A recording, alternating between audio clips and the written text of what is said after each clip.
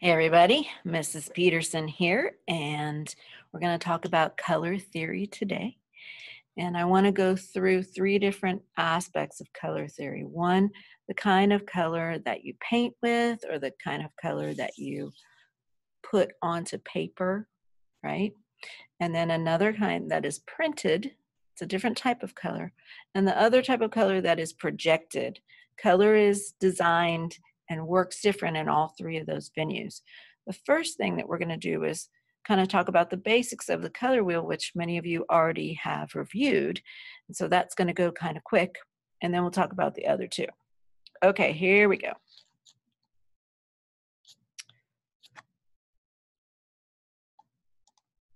Well, hold on. Here we go. There we go.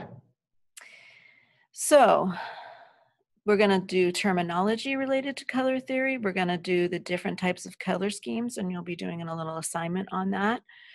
We're going to develop color schemes. That's that assignment. You're going to identify RGB values and colors, and you're going to establish CMYK colors. Now, we're doing our main project on that first one. All right. Here we go. Part one, color terminology and color schemes. All right. The color results when light is reflected off an object. So when the light reflects off of this pen and reflects back to my eye, that's when I see it as this color, right? Everything else is absorbed into this pen and we only see the color that's reflected back to us, right? The color is what that's reflected back to us and the length of the wave helps us determine the color. So you've seen spectrum you've seen prisms or rainbows. Those all have to do with the how big the wave is. So primary colors. Primary colors are red yellow and blue right? These are considered the basic colors because you can mix any color in paint or something that you're maybe putting on paper can be mixed in, with these three colors, right? Now, tints and shades. I've already talked to a few of you about this when we were when we were um, putting together an example of monochromatic, right? Tint is when you add white to a color, right? When you add white to a color. But shade is when you add black to a color, a blue shade and a blue tint, right? Now we will be having a test over this terminology and the different aspects that we're talking about here.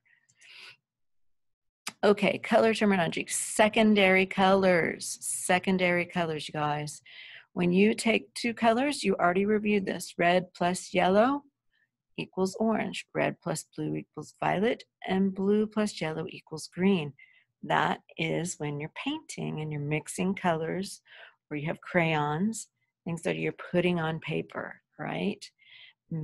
These colors are made by mixing equal amounts of the primary colors. But there's another one that that we're going to look at called tertiary colors, all right? Tertiary colors. These colors can be created in two ways. First, you can mix an unequal amount of primary colors, or you can mix a primary and a secondary together, right? So let's look. Yellow plus green is, yellow is primary, green is secondary, equals the tertiary, right?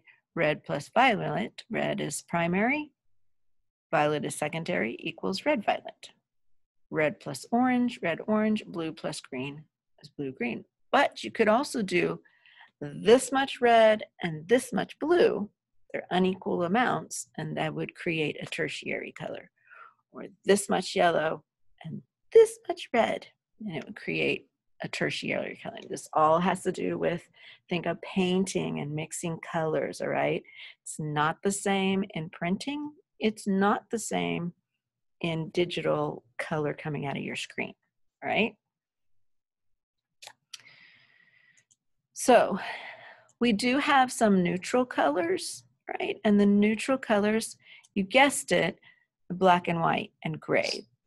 Those make sense. The other ones that we're going to add in there is brown and tan. I don't know if you've ever taken your paint set and mixed them all together.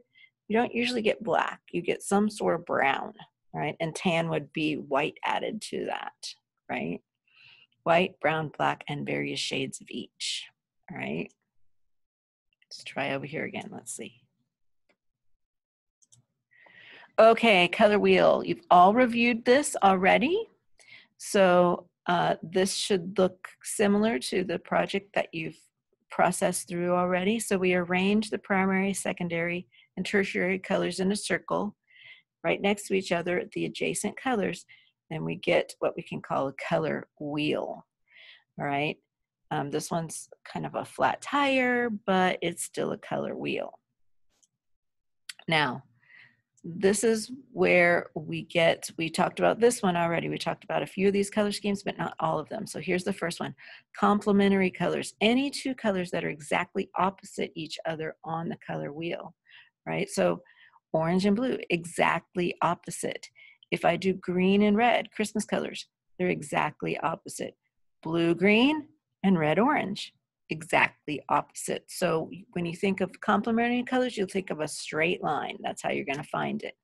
And I say that because we're going to need some shapes to help us with these next color schemes, right? Here we go.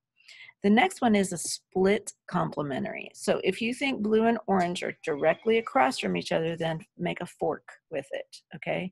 So blue, and when you split it, you're not gonna hit orange, but you're gonna use the two things on either side of that yellow orange and red orange right so you could you could go red and green those are complementary but a split complement would be red and yellow green and blue green so think of that fork on the end of your split complement yellow complement would be violet but the split complement would be blue violet and red violet okay so the next one is um, ana- um, can't say it today, analogous colors, right? And those are colors that are right next to each other on the color wheel, right? Right next to each other on the color wheel. So green, green, blue, and blue, red, orange, red, red, orange, and red. And any tertiary color in between, you guys, you could have a tertiary color right here in between, and that would fit as well. Okay, this one is called a harmonious pair. So if you think of if you think of the split complement with the with the uh, the fork, or if you think of a rectangle, right? Here's what I say about a rectangle. A rectangle is long. This think of a long rectangle, and then it's going to work. Yellow, green, blue, violet, red, violet, yellow, orange, and yellow, green. It's a rectangle right? So I could do it here, green, blue, red, and orange. It's a rectangle, all right? All right, so those are gonna be complementary, but there's also, uh, I mean, a, a harmonious pairs, right? Four colors that have split complementaries already, right? So if we know that red and red orange and blue green are opposite on the colored wheels, then we know these are split complements and these are split complements and there's our rectangle that works, all right? This next one, think of a triangle and it's gonna help you out because it's gonna it's called a triad. It's already telling you three colors, you guys, but it's a little bit different than that split complement because you're gonna skip a few colors, right? colors that are equally distanced from each other on the color wheel. So if you think of that perfect triangle, right, we call it uh, not a right triangle, we call it um, equal, equilateral, equal sides, equal angles. This really is a pretty ugly equilateral triangle, but the, if you place the triangle in the middle of your color wheel, you would be able to find those triads, okay? It's not a split complement, it's a triad. Colors that are equally distant from each other on the color wheel. Most basic, basic triad scheme is the three primary colors, right? Blue, red, and yellow. Or the three tertiary colors, green, violet, and orange, right? so again, if you lay that equilateral triangle in the middle of your color wheel, it will help you find those colors, right? Let's go on to the next one. Now, the other one was a squishy, remember a squishy uh, rectangle? This one is actually a square. Now, it doesn't look like a square today, but it's a square on your actual wheel because remember I have a flat tire today. Four colors that are equally distanced from each other, not a squishy rectangle, but a square, okay? If you lay a square in the middle of the color, the tips of it will point to four colors. Yellow, green, blue, red, violet, and orange, right? And if you, you're just gonna get a square, all right? I'm going to actually do that with my class here and we're gonna rotate the square around, right? And then tetrad pairs, okay? Place the square in the middle of the wheel. Your four colors located, okay, this is a sample, okay? So the tetrad is the one that we just saw right before this. You place your square in the middle of the color wheel, and those four that touch is going to be a color scheme that you've put together. Your four colors are located in the corners of the square, and then you're going to use two colors for your main colors and the other two for your accents. So see how there's a picture here? And to be honest, I don't know what their main color is. Maybe the maybe the magenta is their main color and maybe their orange is their main color and the green the, the yellow green is accent and the blue is accent okay because you're going to be actually coloring some papers and you're going to place you're going to get your own uh, color scheme plans so let's look at a different one this one right here is analogous remember they're right next to each other on the color wheel so this artist picked these three okay choose any three colors. Also, neutral colors can always be part of any of these color schemes. Neutral colors don't change the color scheme. So I could do uh, green, yellow green, and yellow, and I could use black. Or I could keep it white for background, or I could use gray, all right? Or maybe I'd do orange, sorry, orange, red orange, and yellow orange, and used a brown because that might complement it. But it's still only three colors because the the neutral colors don't count in the color scheme, right? Here's one more, I believe. Here is here is uh, one version of the assignment. So if you're in principles, this is your assignment. You have a color wheel, and I'm going to give you some printouts. I'm going to be sending those to you. It says don't use markers, but I don't mind if you use markers, you guys. You can use markers for this. You're going to design um, five different color schemes. If you want 100%, you have to do all five plus the question. If you want at least an 80%, at least an 80, you have to do four of them and the question. If you want, that's it. You got to do at least four, right? Five for 100%. Um, choose your own variations of the color and give your schemes. And then you're also going to, um, oh, you'll see. Let me, let me grab that real quick. Okay, here we go. Here's an example. Let's see if it sees it. See the rectangle? Okay, and then there's just kind of a design in there. In that design, you are going to uh, color it, let's say it's a triad and you do orange, green, and violet, then you would just use orange, green, and violet anywhere in here.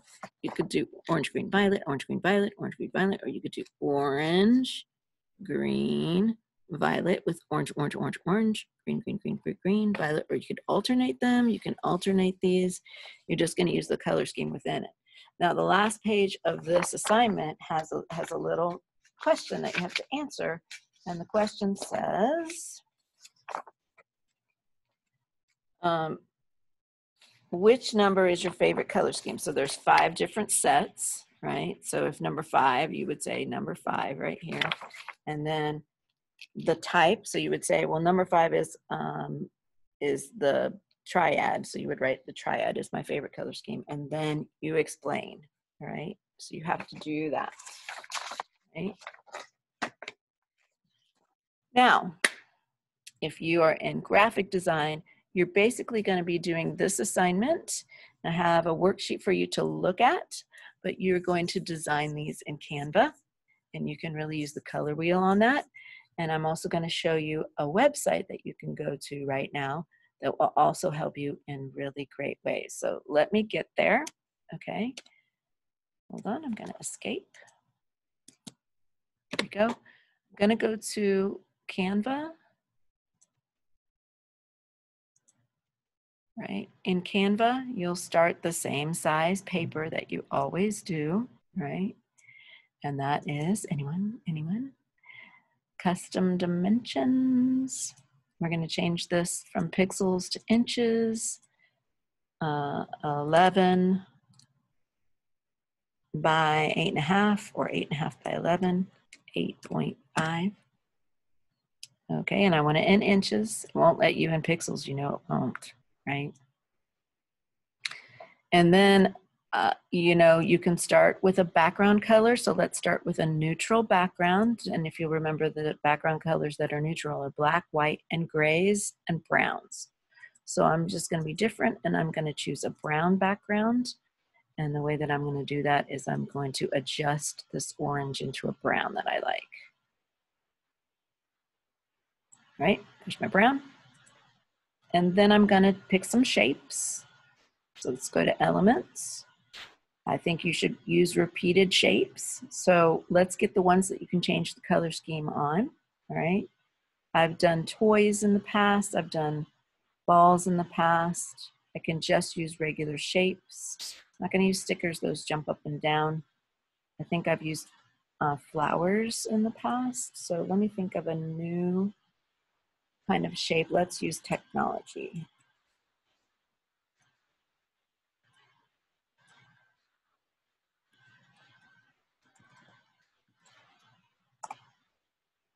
Okay, so technology. Interesting things. I want to make sure that they have a similar feel to them and I want to make sure that I can change the color scheme, okay? So this is kind of fun and it's free. So I'm going to drop that one in there. And look, it gave me some recommendations, okay? So I have this guy in here and this guy. I'm going to see all. Okay, I'm going to go ahead and see all because they already have shapes that are going to complement each other. It's the only reason I'm choosing this, all right? I don't want the black. Well, I could, use the black, but remember that's a neutral color. And let's go ahead. I'm going to put this rocket behind them.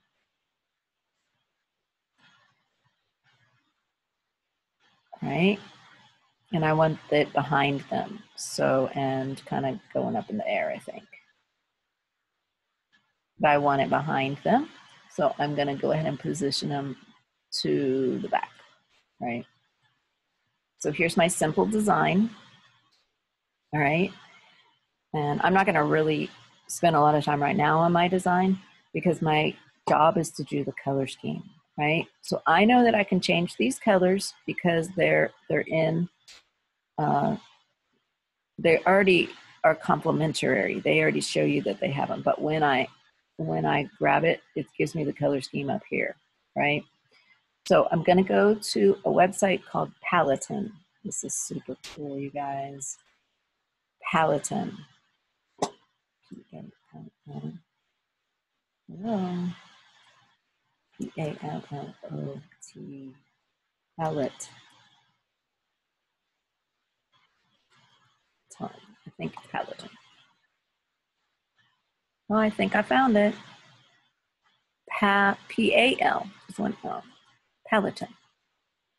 This is so cool, you guys. Okay, here's your color wheel. I want to show you this. Look here. This has all the things you need. First, you press this one, and if you want to add complementary colors, it's going to give you a complementary color of all these colors. If you want the vivid complementary, you would go this color with this color. Why can't we see my whole screen? Let's see if I can, there I scroll it down, okay? If you want them really vivid, you can actually take it to this side. If you want them lighter colors, you can take it to this side. But this is the coolest part. Are you ready? Complementary colors. Let's say I want this one. When I click on it, right here, let's see. Hold on, examples. No, let me go back.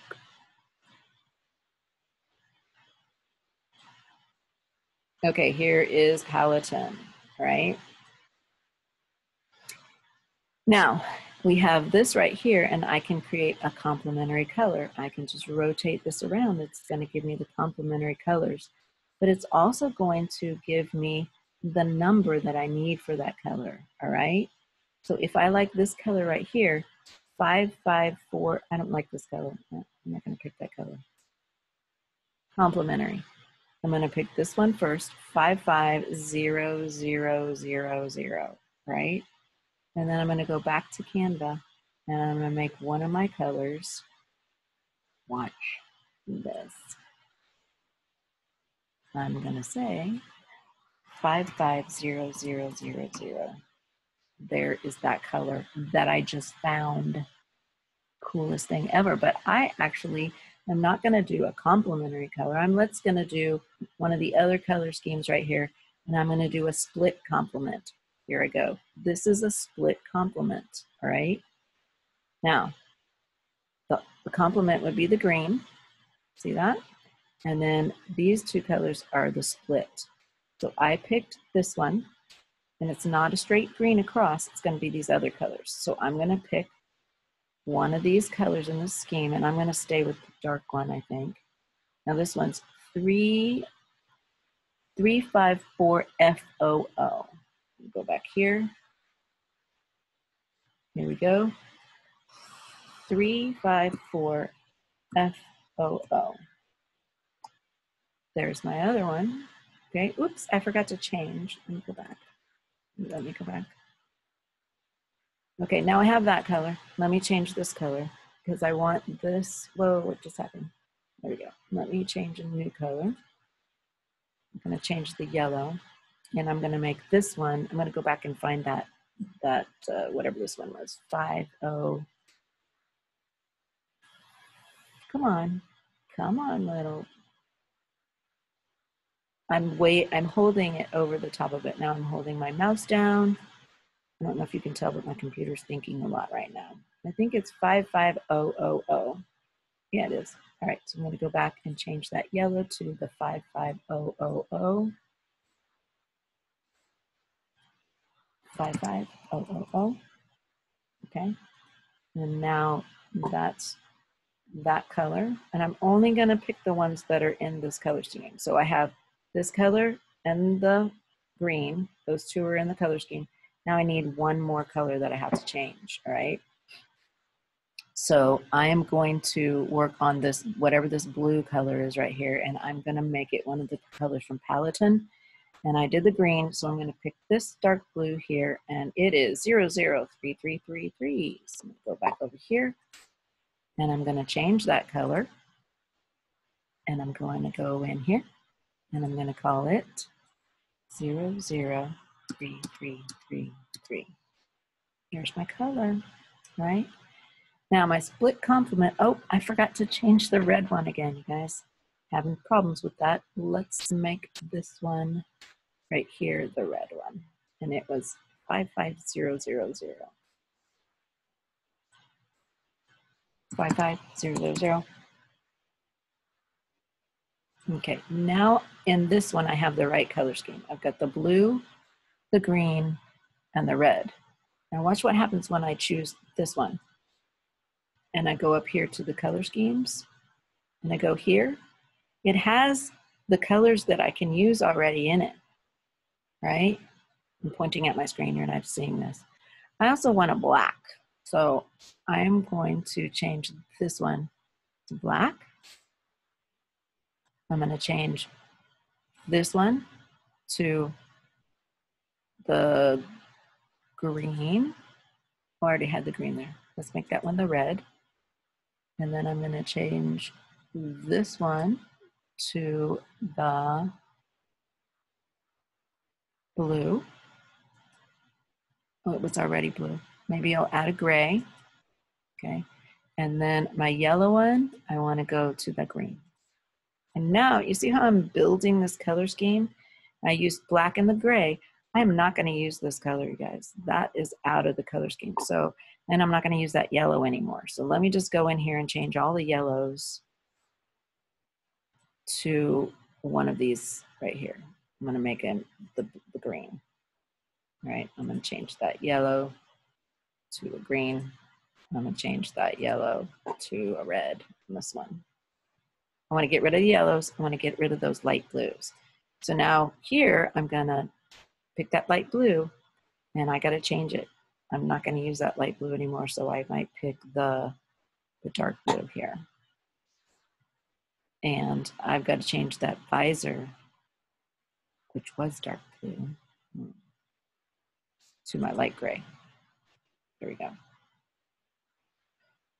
Light gray and now I have two light grays, make the other one dark blue. So see, see how I'm using that color scheme? This one right here, we're gonna change that to the red. Actually, I wanted to change this one to the red. There we go. And then back here, I gotta get rid of that IPA blue. And so I'm gonna make it the red. And you see where I'm going with this? So here's my design. I made a pattern of shapes and then I used a color scheme. I now do not like that brown in the back. So what if I just use white in the back? Let's see what happens if I use white. So I'm going to change my background and let's see what my background looks like with white. No, let's see what my background looks like with black. Better. Okay, it works because this person is in front of the white. If I made that one, it wouldn't work right? So there is, right there, I've just done this color scheme with this design that I made. And I have done the split complement. So I'm gonna duplicate it. And now on this one, let's see. I think that I can change them and they won't change up here. Let's see.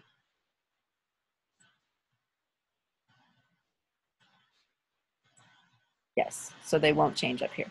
Then I'm going to go back for this tile and I'm going to go back into my worksheets and I'm going to do the next color scheme. So it might be a, a triad. It might be, this one was a split complement, the first one that I did. Maybe it'll be a tet, tet, the four-sided, right? But just use the same design four times in a row, five times in a row, and you're gonna change the color scheme. And you're gonna use Paletton Oh my goodness, super great. Here's, here's the tetra, the four. This right here is the split complement. Do you see that? But if I want to make it the four, then I make them equally spaced apart. There's one of these that will let us move it. I think it's, it must be this one. There we go. Now they're four apart and I can rotate them. See that? Four apart. If I want brighter colors, I can bring them down here. If I want lighter colors, I can bring it up here. And then you're just gonna wave your magic wand over that, click on it, wait for a minute, and it's gonna give you the color that you want. Is that the best? Here's a triad, equally distant. So you have to make that an equally distant triad before you do it. You can rotate that around. The coolest thing ever. All right, it even says triad there. But if it's a split bone, here's analogous, right? So, and they can be closer together. Right. They can't be too far apart. It becomes more like a triad. So I would say at least halfway across. And then you can rotate that around and get your color schemes. Come on. The coolest thing ever. You guys are going to do it in RGB, but it works. right? So graphic design, that's what you're going to be working on. Now I'm going to go back to the PowerPoint. Okay.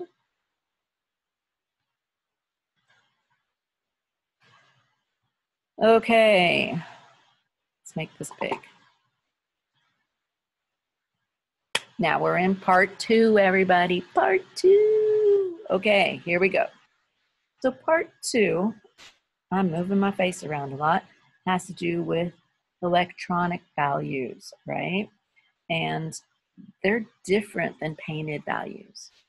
In part two, we have RGB, red, blue, green, RGB, RGB, RGB. And if you've ever looked super close at a TV screen, I used to do that as a little kid, or even at your cell phone screen.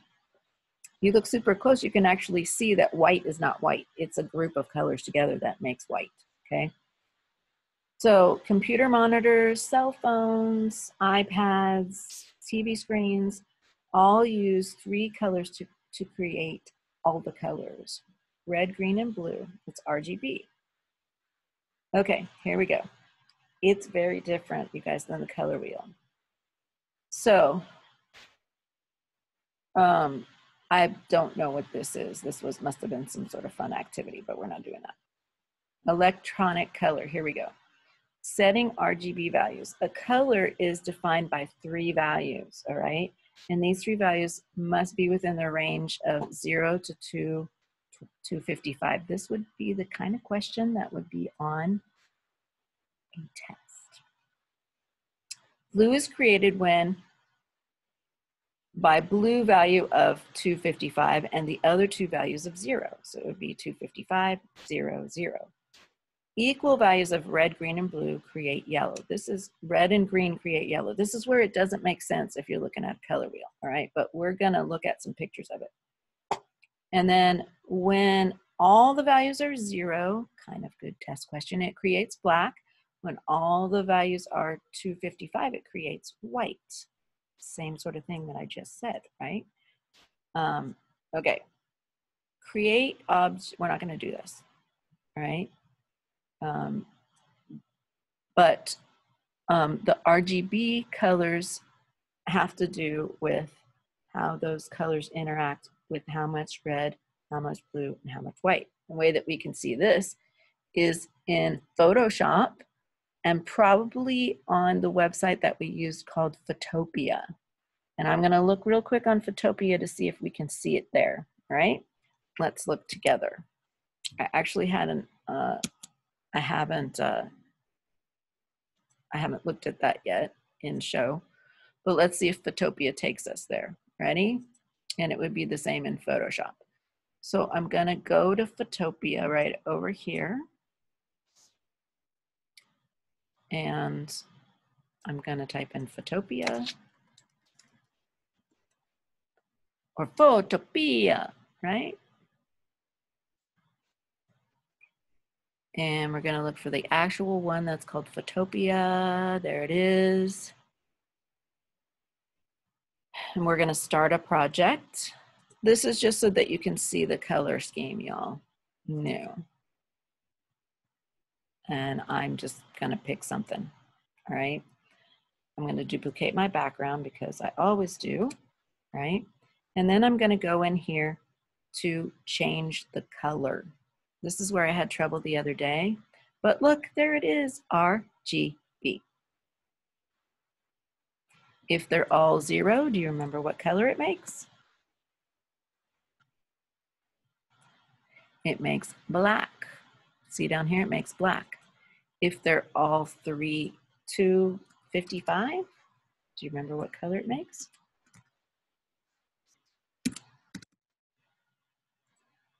It makes white. It's different, guys. It just is so different. Um, and let me see if the notes talk about, okay, here we go. Here is, here is, oh, that's CMYK. Never mind, that's the next thing. Okay, all I'm saying is RGB color is very different, right? And then the hex color is, is what the printed color is going to be, right? But the RGB is the color that's projected. So it'd be good to probably remember this one. It might also be good to remember this one. Okay. All right, there we go. that's all I'm teaching about that. Let's go back to the PowerPoint one last time, everybody. We're not doing the killer wheel, right? I'm gonna go to part three. So printed color is called, hey everybody, we're back to part three. Printed color. It's called CMYK, right? It's so strange. And this one is gonna crack you up right here. CMYK. So if you have a color printer at home and you print something, you're printing in CMYK colors. You're not printing in RGB colors and you're not printing color wheel colors. You're printing CMYK colors. Okay? So here we go. It's different. There's four colors that they mix to make everything and anything you print at home. There is cyan, which is looks like a kind of a light blue, magenta, which looks like magenta in the crayon color, yellow, and black. Black. The K in black is the K in CMYK. So cyan, magenta, yellow, and black. I guess they didn't want to use blue because some people would think that's blue and whatever. So it's black, CMYK, right? Here we go. These are strange, and this is true. This is how the color printer works. If you mix magenta and cyan, you'll get blue. It doesn't work on a color wheel, you guys, it's different. If you mix magenta and yellow, you'll get red. And if you get mix yellow and cyan, you'll get green. So see how it's very different? So when we design, especially in graphic design, when we design, we have to, in Photoshop, we have to determine if we're doing CMYK color or, or, or RGB color. And we have to design like that because you could look at it on your screen and it looks one way, but when it prints, it prints another way unless you design a CMYK right? That's kind of the main deal there. And some programs can switch the color mode from RGB to CMYK and Photoshop can do that, but it's it's no fun to do it. It it's it's a, yeah, it's no fun to do that. All right. So CMYK colors go from 1 to 100, right? So you have to remember that. That's kind of a testy thing too. And RGB colors go from 0 to 255. So a color is defined by the four values. They must be within the range of 1 to 100. You can, whoops, you can achieve this color. You can achieve the same color as RGB, but it's going to have different values. For instance, the color blue in RGB is 00255, but CMYK it's 99 for C, 67 for M, 0 for Y, and 20 for black totally different way of looking at color, but you are looking at a color because it's pigment color. See this pigment at the top?